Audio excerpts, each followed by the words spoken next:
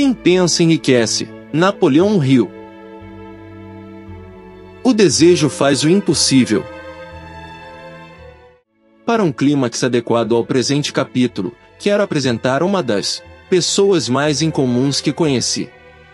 Viu, pela primeira vez, alguns minutos depois que nasceu. Veio ao mundo sem nenhum sinal físico de orelhas e o médico admitiu, quando o apertaram para dar opinião sobre o caso, que a criança podia ser surda e muda para o resto da vida. Contestei a opinião do médico. Eu tinha o direito, era o pai da criança.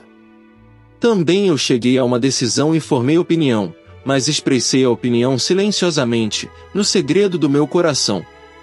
Sabia, no íntimo, que meu filho iria ouvir e falar. Como? Tinha certeza de que devia de existir um meio e sabia que o encontraria. Pensei nas palavras do imortal Emerson. Todo o curso das coisas serve para ensinar-nos fé. Basta nos obedecer. Há orientação para todos nós, e, se ouvirmos com humildade, escutaremos a palavra certa. A palavra certa? Desejo. Mais do que qualquer outra coisa, eu desejava que meu filho não fosse um surdo mudo. Desse desejo jamais retrocedi, nem por um segundo. O que podia eu fazer? Teria de achar, de qualquer modo, um meio de transplantar para a mente da criança o meu ardente desejo de transmitir-lhe som ao cérebro, sem o auxílio de orelhas. Assim que ela estivesse com idade suficiente para cooperar, encher-lhe-ia de tal modo a mente com o desejo ardente de ouvir, que a natureza, por métodos próprios, se incumbiria de traduzi-lo em realidade física.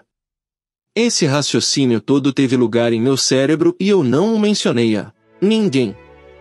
Todos os dias, renovava o juramento que fizera a mim mesmo de que meu filho não seria surdo-mudo.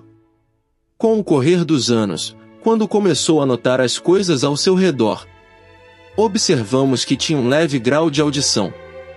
Ao chegar à idade em que as crianças geralmente começam a falar, não fez a menor tentativa nesse sentido, mas percebíamos, por suas ações, que ouvia vagamente certos sons. Era tudo o que eu queria saber.